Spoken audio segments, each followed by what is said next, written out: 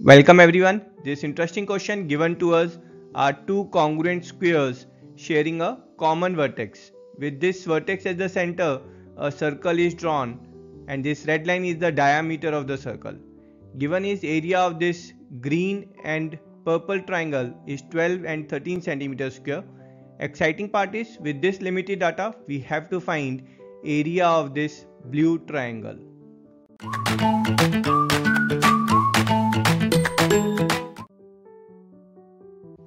Let's check this simple and elegant solution.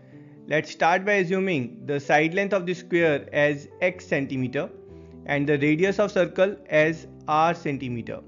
Thus OB length is r centimeter and OA length that's also r centimeter. Now in this green triangle from vertex A let's drop a perpendicular on GO and from this vertex B let's drop a perpendicular on OH. Let's assume this height AC is A centimeter and BD that's B centimeter. Now this angle here if we'll assume this as an alpha degree then this angle that will become beta degree and both will be complementary angle. Now this angle here is 90 degree and if we'll check the angle along a straight line we can make out that this angle here that will be complementary to L this beta degree or this angle will also be alpha degree. Now these triangles have got angles as alpha side r and angle beta. Same way this triangle will have angle alpha side r and angle beta.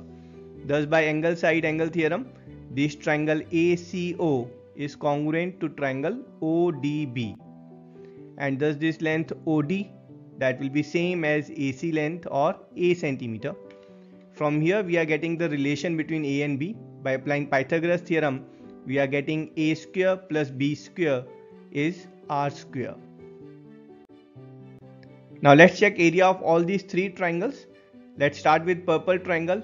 Its area is area of this triangle EOF is half of base into height. Now base is r centimeter, height is x centimeter. So half of r times x that's given as 13. From here we are getting r is 26 upon x. Same way for the green triangle. So area will be half of base into height. Base is x centimeter, side of square and height is a centimeter. So half of a times x is given as 12. Simplifying it will get a as 24 upon x. Now for this blue triangle that's triangle BHO.